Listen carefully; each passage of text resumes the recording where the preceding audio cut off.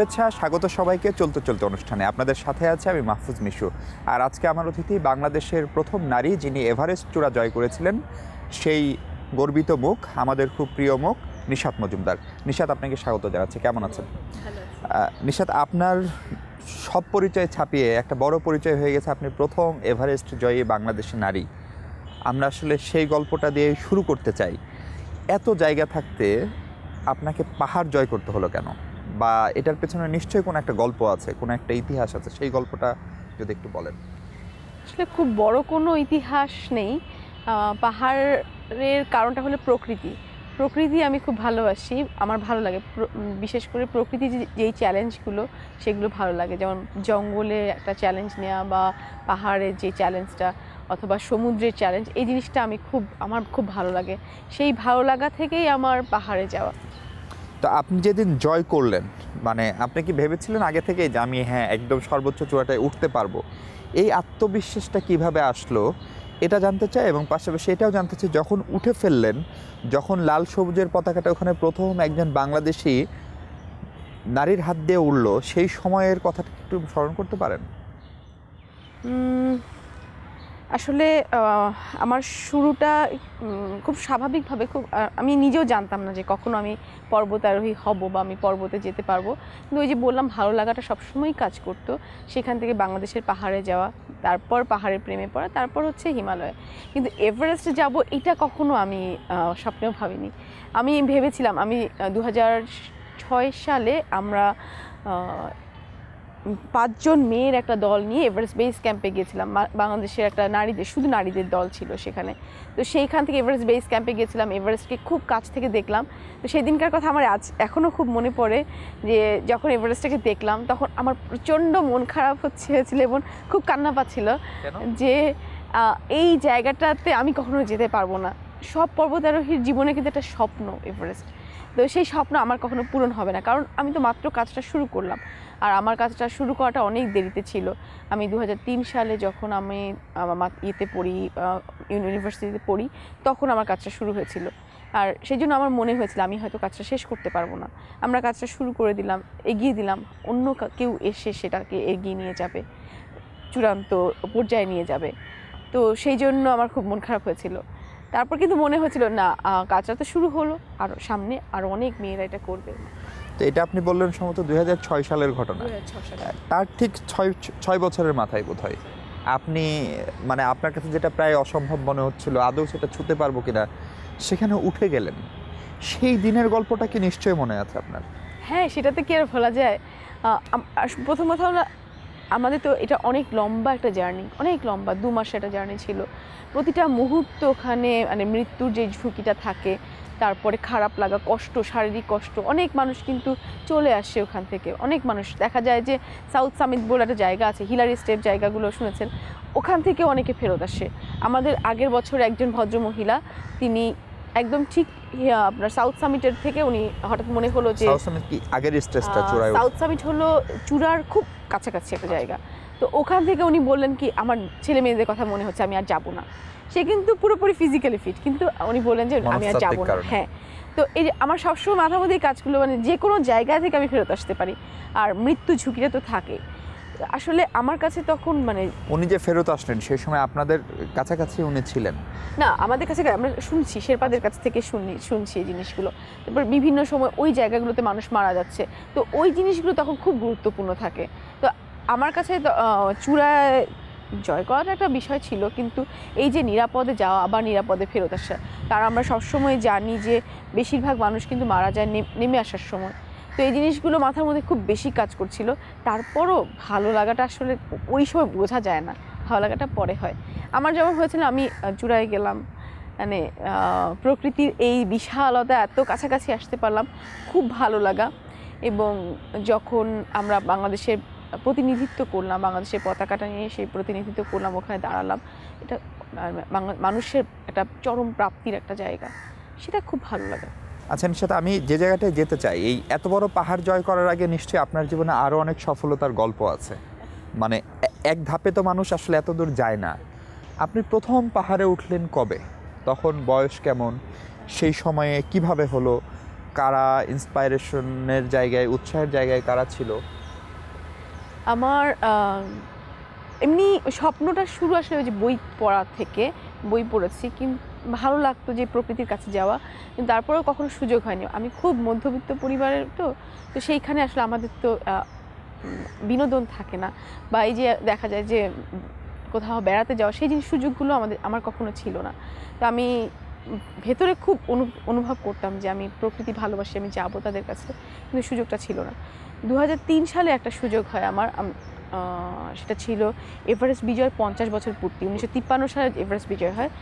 দু হাজার তিন সালে পঞ্চাশ বছর পূর্তি উপলক্ষে একটা গ্রুপ বাংলাদেশ অ্যাস্ট্রোনমিক্যাল অ্যাসোসিয়েশন তারা চিন্তা করল যে এভারেস্ট বিজয়ের পঞ্চাশ বছর পূর্তিতে আমরা আমাদের দেশে সর্বোচ্চ চূড়া জয় করব।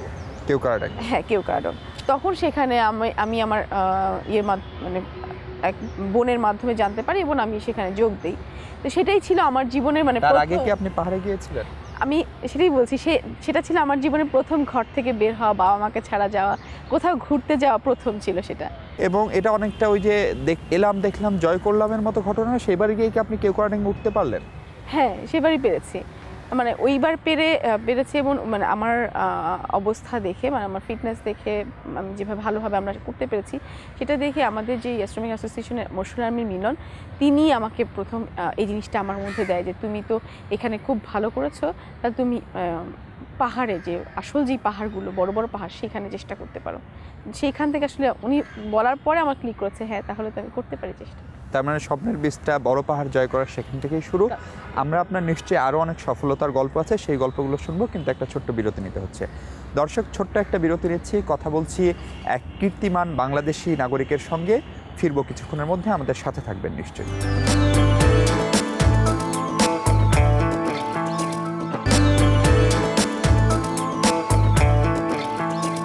বিরতির পর ফিরলাম, আবারও কথা বলছিলাম এভারেস্ট বিজয়ী নিশাত মজুমদারের সঙ্গে।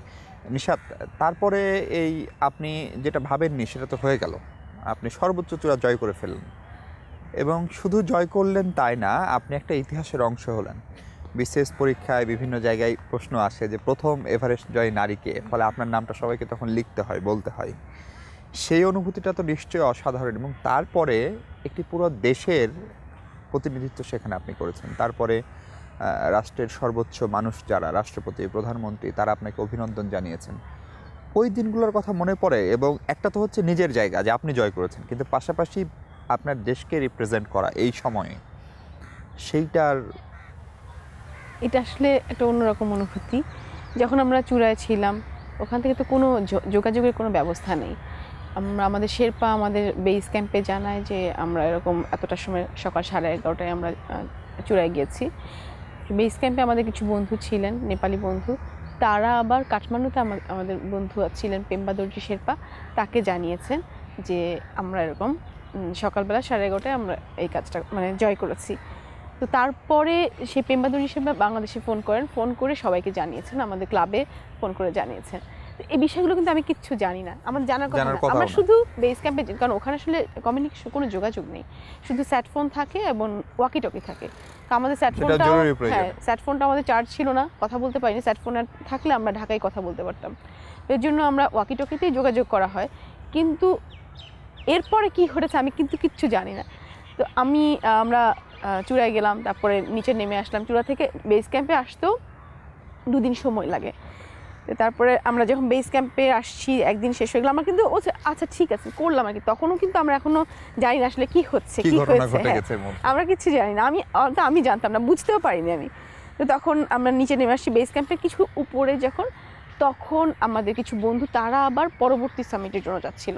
তো তারা যাচ্ছে আমাদের ক্রস করছে আর বলছে যে হ্যাঁ তোমাদের বাংলাদেশে ইয়ে করেছে জানিয়েছে। আর অনেক ফোন আসছে। ও আচ্ছা ফোন আসছে। আচ্ছা তারপরেও আচ্ছা ঠিক আছে। তারপর আমি যখন বেস ক্যাম্পে ফেরত আসলাম তখন সবাই আমাদেরকে অভিনন্দন জানাচ্ছে। তখন প্রথম একটা চ্যানেল থেকে ফোন দিল কথা বললাম আচ্ছা ঠিক আছে আর কি। তখনও বুঝতে পারছি না কি হচ্ছে। যে ইতিহাস হয়ে গেছে। তারপরে আমরা কাঠমান্ডুতে আসলাম ও আচ্ছা ঠিক আছে আমাদের কিছু বন্ধু গিয়েছে কিছু টিভি চ্যানেল থেকে গিয়েছে ও আচ্ছা ঠিক আছে। এই তো হয়েছে। তারপরে যেদিন বাংলাদেশে আসলাম সেই দিন হচ্ছে আমার মানে মূল অনুভূতিটা আমি সেদিন ইয়ে পেয়েছি। দেশের মাটিতে ফেরার পরে। হ্যাঁ ফেরার পরে মানে আমি যখন ঠিক বিমানবন্দরে পা দিলাম তার বের হব ঠিক ওই মুহূর্তেও আমি মানে অনুভব করলাম যে আসলে কিছুটা মনে হয় ঘটে গেছে। মানে এত মানুষ বিমানবন্দরে এত মানুষ আমি নিজেকে কখনো এই জায়গায় আমি কল্পনাও করিনি। তো এটা আসলে স্বপ্নের চাইতে বেশি হয়ে গেছে আমার জন্য। আপনি এভারেস্ট থেকে নামার পরে মানে যখন আপনি নেটওয়ার্কের মধ্যে আসলেন প্রথম ফোনটা কার সঙ্গে আপনার কথা হয়েছিল? আত্মীয় স্বজন বাবা মা? এরকম কেউ? বা বাবা মার সাথে প্রথম কথাটা কি ধরনের ছিল? বাবা মা ফ্যামিলির লোকজনের সঙ্গে? আসলে বাবা মা মানে তখন সুযোগই ছিল না। ওই যে সুযোগ ছিল না। প্রথম একটা টিভি চ্যানেলের সাথে কথা হয়েছিল। টিভি চ্যানেল মানে একটা নিউজ ইয়ের সাথে একটা নিউজ। কিন্তু আপনার কাছে কখনো মনে হয়েছে যে যে কাজটা আপনি করলেন, সেটা আপনি নারী না হয়ে পুরুষ হলে করা আরেকটু সহজ হতো কিংবা আরেকটু দ্রুত আগে করা যেত, যেটা হয়তো আপনার টিমেরই মোহিত ভাই যেটা প্রথম করলেন। আপনি যদি সুযোগটা আরেকটু আগে পেতেন কিংবা আরেকটু আগে যদি এটার সঙ্গে জড়িত হতেন, তাহলে আপনি হয়তো প্রথম বাংলাদেশেই হতেন, শুধু বাংলাদেশের নারীদের ভিতরে প্রথম না।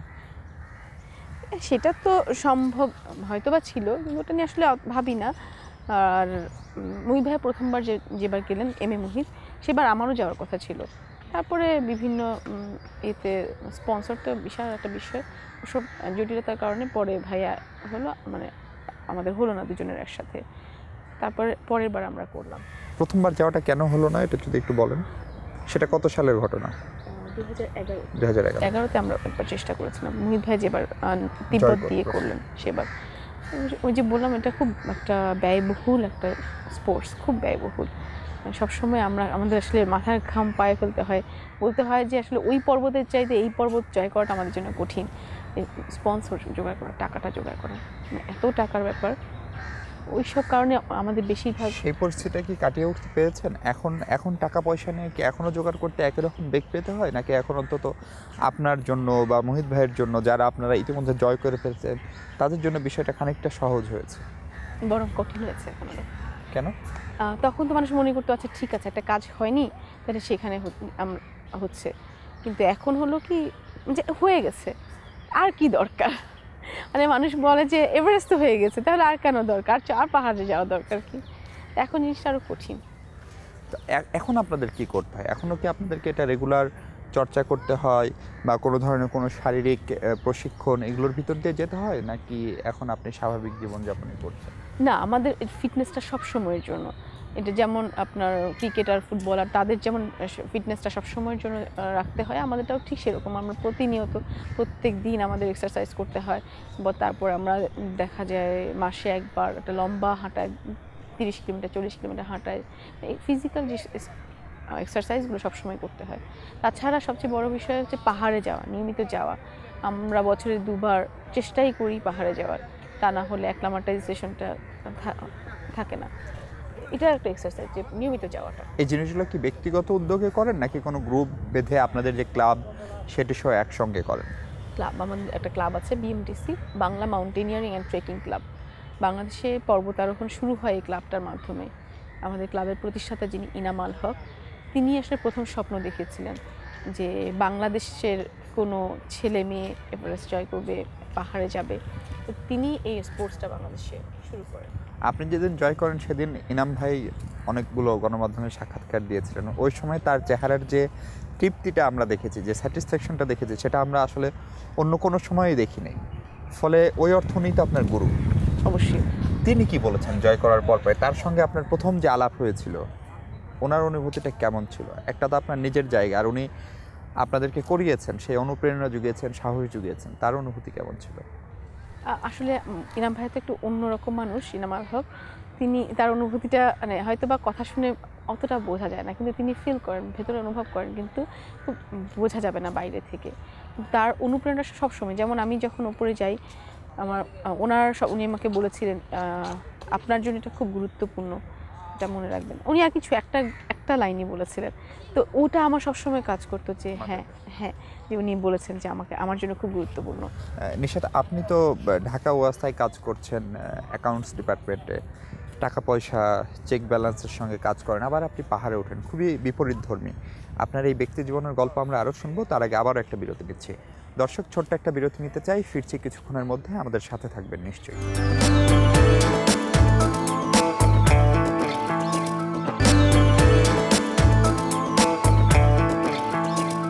স্বাগত। আরও একবার কথা বলছিলাম নিশাত মজুমদারের সাথে।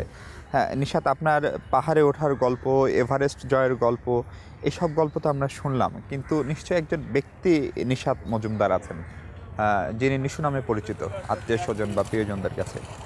সেই নিশাত মজুমদার একটা কর্মজীবন আছে। আপনি ঢাকা ওয়াসায় কাজ করেন অ্যাকাউন্টস ডিপার্টমেন্টে আপনার চাকরির গল্পটা শুনতে চাই, যে আপনি আসলে কি কাজ করেন এবং সেই কাজের সঙ্গে এই পাহাড়ে ওঠা এভারেস্ট জয় করা, সেগুলো কখনো দিকে একটা পরিস্থিতি তৈরি হয় কি না কারণ আমরা জানি সরকারি চাকরি থেকে আপনি এই ধরনের অভিযানে গেলে অনেক দিনের ছুটি নিতে হয়। সেগুলোর ক্ষেত্রে আপনার সহকর্মীরা কতটুকু সহযোগিতা করেন বা তাদের মনোভাবটা কেমন? আসলে আমি সব দিক থেকেই সৌভাগ্যবান। আবার এই জায়গাটা তো খুব সৌভাগ্যবান। আমার অফিসে যে সহকর্মীরা আছেন, আমার যারা স্যাররা আছেন, তারা সবসময় আমাকে খুব উৎসাহ দেন সব সময় তা না হলে আসলে এই কাজটা আমার পক্ষে করা সম্ভব হতো না। কারণ আমাদের প্রত্যেকবার আমরা যখন যাই, দু মাস বা এক মাস করে ছুটি লাগে। তো গুরুত্বপূর্ণ এটা। তারা সবসময় আর তারা ভালো লাগা থেকেই আমাকে অনুপ্রেরণা দেন। কিন্তু আপনি যেদিন জয় করেছিলেন সেদিন ওয়াসায় আমরা জানি ওয়াসা আপনাকে আলাদাভাবে সংবর্ধনা দিয়েছে। ওয়াসার লোকজনের ভিতরে মানে ভাবখানা এমন ছিল যে ঢাকা ওয়াসায় জয় করে ফেলেছে এরকম।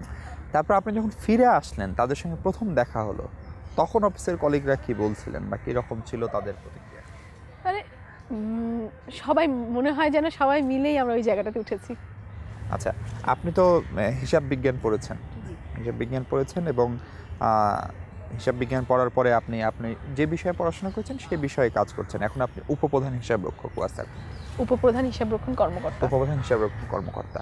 সেখান থেকে ক্যারিয়ার নিয়ে আপনার ভবিষ্যৎ প্ল্যানিং কি? কি করতে চান? আসলে আমার, আমি ক্যারিয়ার নিয়ে খুব বেশি ভাবছি না, ভাবার আসলে সুযোগ নেই আমার জন্য। তার চাইতে বরং বেশি আমি এখন অন, বাইরের কাজে বেশি ইনভলভ মানে যুক্ত আছি। যেমন আমাদের কিছু কাজ আছে, যেমন বাংলাদেশে পর্বতারোহণটাকে এক- আরও শক্তিশালী জায়গা দাঁড় করানো ছেলে মেয়েদেরকে উৎসাহিত করা। এই কাজগুলোতে আমি এখন বেশি মনোযোগ দিই।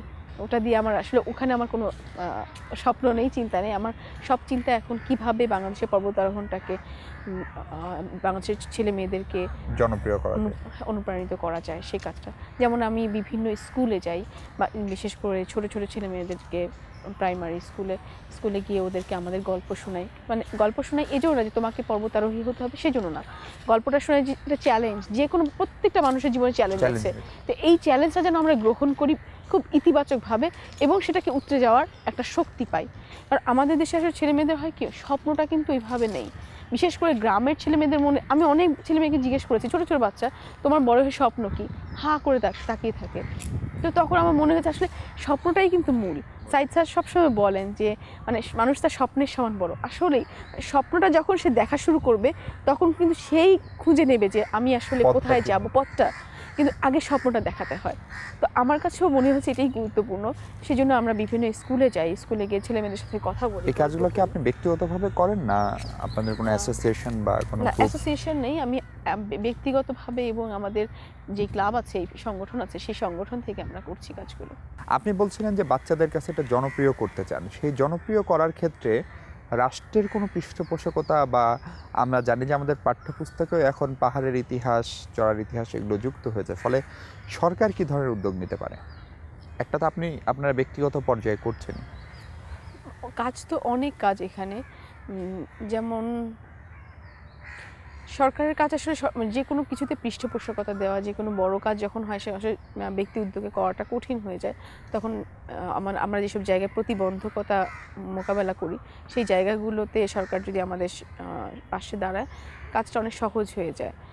আর আমার আসলে অনেকগুলো এখন চিন্তা আছে, অনেকগুলো যেটা বললাম যে কিছু কাজ করা, যেমন আরেকটা বাংলাদেশে এই পর্বতারোহণটাকে যেভাবে জনপ্রিয় করা যেভাবে ছেলেমেয়েরা যেন এটার সাথে সম্পৃক্ত হতে পারে তার কারণটা হলো কি আমাদের ছেলে মেয়েদের মধ্যে দেখা যায় কি বিশেষ করে এখনকার খুব পাঠ্যপুস্তক জেনারেশন যারা। হ্যাঁ পাঠ্যপুস্তক কেন্দ্রিক হয়ে কারণ অনেক বই পড়তে হয় তাদের। হ্যাঁ হ্যাঁ সেই জন্য কিন্তু এই জন্য দেখা যায় যে ওরা অন্য দিকে কোনো মনোযোগ দিতে পারে না। তো এই জন্য আমার কাছে মনে হয়েছে যে এখানে একটু কাজ করা দরকার আর কি। নারী হিসেবে কখনো কোথাও নিজেকে আলাদা খানিকটা বঞ্চিত খানিকটা অন্যদের চেয়ে কম প্রচলিত যে সামাজিক দৃষ্টিভঙ্গি সেটার শিকার আপনাকে হতে হয়েছে? না আমার এটা কখনো হয়নি যে নারী বলে আমি বঞ্চিত সেটা না। তবে কিছু কিছু জায়গায় আমি নিজেকেই হয়তো বা গুটিয়ে রাখতে হয়েছে আমাকে। যেমন ছোটোবেলা মানে এগুলো তো ছোটো ছোটো মনস্তাত্ত্বিক বিষয়গুলো কিন্তু মানুষের একেবারে ব্যক্তিত্ব জীবনে ব্যক্তিক জীবনে প্রভাব ফেলে। তো যেমন দেখা যায় যে আমরা ছোটবেলায় কী হয় একটা মেয়ের পোশাক আশাক নিয়ে তুমি এভাবে পোশাক পরবে না। তুমি এভাবে চলবে না এভাবে হাঁটবে না। এই যে না না করতে করতে একটা বাধা কিন্তু মনের মধ্যে তৈরি হয়। একটা সময় মনে হয় কি না থাক আমি করব না। বা মনে হয় যে না আমি পারব না। এখন আমাদের নারীরা তো অনেক এগোচ্ছে কিন্তু তারপরেও নারীর ক্ষমতায়নের যে জায়গাটা মানে নিজের সিদ্ধান্ত গ্রহণের যে জায়গাটা কিংবা নারীকে শুধু নারী বা মানুষ হিসেবে না দেখে বরং নারীকে অনেক বেশি তার গ্ল্যামার দিয়ে বিবেচনা করার যে একটা প্রবণতা আমাদের সেইটা কখনো আপনার মাথায় আঘাত করেছে কিনা বা সেটা ভাবায় কিনা আপনাকে? সেটা আঘাত করে, কিন্তু আমি না আসলে এগুলো নিয়ে খুব বেশি চিন্তিত না। আমার কাছে মনে হয় যে মানে সচেতনতা কাজগুলো জরুরি। একটা মেয়ে যখন নিজের সম্পর্কে সচেতন হবে, একটা পরিবার যখন তার মেয়ের সম্পর্কে সচেতন হবে, তখন কিন্তু এগুলো থাকবে না। এই যে জিনিসগুলো, এই মানসিকতা, এই মানসিকতাগুলো কিন্তু পরিবার থেকে আসে। পরিবার কিন্তু অনেক আমাদের অনেক কুসংস্কার নিয়েও কিন্তু পরিবার আছে। অনেক সংস্কার, অনেক কুসংস্কার, অনেক ভালো সংস্কার সব কিছু মিলে। তো এই জিনিসগুলোর জন্য হয়তো বা হচ্ছে, কিন্তু আসলে ধীরে ধীরে আগাচ্ছি কিন্তু আমরা। আমি এটা নিয়ে চিন্তিত না যে হ্যাঁ মেয়েদের বঞ্চিত হচ্ছে। ধীরে ধীরে কিন্তু মেয়েরা এগিয়ে যাচ্ছে। যেভাবেই হোক হচ্ছে। একটু দেরিতে হচ্ছে, কিন্তু হবে। আমাদের নিষাদ শেষ করতে হবে। আমরা শেষ করতে চাই আপনি যে কথাটা বলছিলেন যে আপনার অনেকগুলো স্বপ্ন আছে, আপনি যে স্বপ্নটা এখন খুবই লালন করেন এবং যে স্বপ্নটার বাস্তবায়নে আপনি আপনার জীবন দশায় দেখতে চান, আপনার সেই স্বপ্নের গল্পটা শুনে আমরা শেষ করব। স্বপ্ন তো আসলে অনেক অনেক অনেক স্বপ্ন। তার, তারপরে ওই আমার যেটা বললাম যে বাংলাদেশের ছেলেমেয়েরা পর্বতারোহণে যুক্ত হবে, আর সবাইকে পর্বতারোহণে যুক্ত হবে, তা, হতে হবে তাও না। মানে যে যার পর্বতটা জয় করবে, প্রত্যেকটা মানুষের জীবনের কিন্তু একটা পর্বত আছে, তার একটা জীবনের সংগ্রাম আছে। তো এই সংগ্রামকে সে জয় করবে, এই এই চ্যালেঞ্জগুলোকে জয় করবে। এটা আমার একটা, আর আমার দিক থেকে যেটা যে মেয়েদের জন্য, বিশেষ করে বাংলাদেশে মেয়েরা যেন আরও বেশি পর্বত যখন আমরা দু হাজার বারো সালে করলাম, দুজন মেয়ে করলাম, তারপরে হয়তো আরও মেয়েরা এই পেশায়, এই কাজে যুক্ত হবে। সেটা আমার একটা স্বপ্ন যে অনেক মেয়েরা আসবে, অনেক শিশুরা বড় হবে একটা সুন্দর স্বপ্নকে ঘিরে। আপনাকে অনেক ধন্যবাদ নিশাদ আমাদের সময় দেওয়ার জন্য। দর্শক, শেষ করছে আজ এবং নিশাদ মজুমদার যে স্বপ্নের কথা বললেন, যে গুরুত্বপূর্ণ কথাটি বললেন, প্রত্যেক মানুষের জীবনে আসলে পর্বত জয় করতে হয়। সবসময় সেটি পাহাড় পর্বত নয়। প্রত্যেক মানুষ তার জীবনের সেই বাধা জয় করে এগিয়ে যাক সামনের দিকে, সেই প্রত্যাশায় শেষ করছে আজ। ভালো থাকবেন সবাই, থাকবেন যমুনা টেলিভিশনের সঙ্গে